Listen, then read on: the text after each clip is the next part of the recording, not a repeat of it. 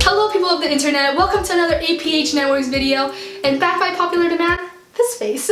so you know when you see me, Gina, I'm bringing to you another nifty little product and let's get on with the video.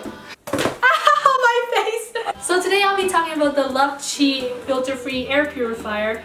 Luft German for air. And Qi is a Chinese word for air, so the literal translation is air, air, filter-free air purifier. So basically it purifies air. Yes, that's what it does. It does that.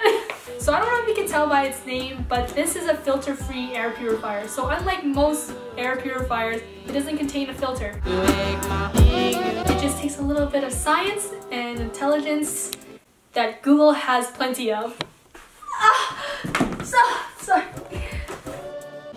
So the Qi air purifier uses patent LED technology so the Qi air purifier uses pan UV LED photocatalysis, photocatalysis, photocatalysis sterilization technology. Wow! Any organic compounds, bacteria, mold, etc. is able to be destroyed by using photons and UV energy which activates a catalyst which then gives us the photocatalytic oxidation, or PCO for short.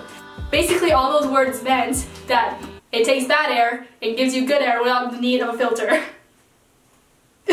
But I'm sure most of y'all aren't interested in a science lesson given by yours truly, but whether or not this thing is really worth the buy. So here's some things to take into consideration.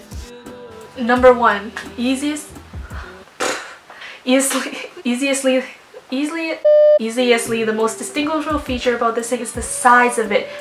Compact, sleek, cute, I guess. So put in your backpack, boom, you're done. Good for transportation, good for traveling as well numero the the price. This one goes for 130 USD, but mind you, it's a lot more compact than the ones you usually find in the market. Number three, ease of use. All you really need is a micro USB charger and an outlet, plug it in, and it's set. Bada bing, bada boom. Number four, this could be a problem for some of you, maybe it's not, meh. It emits a blue LED light. It's pretty mellow, so it shouldn't be much of a bother, but if that's something that bothers you, then it's gonna be something that bothers you.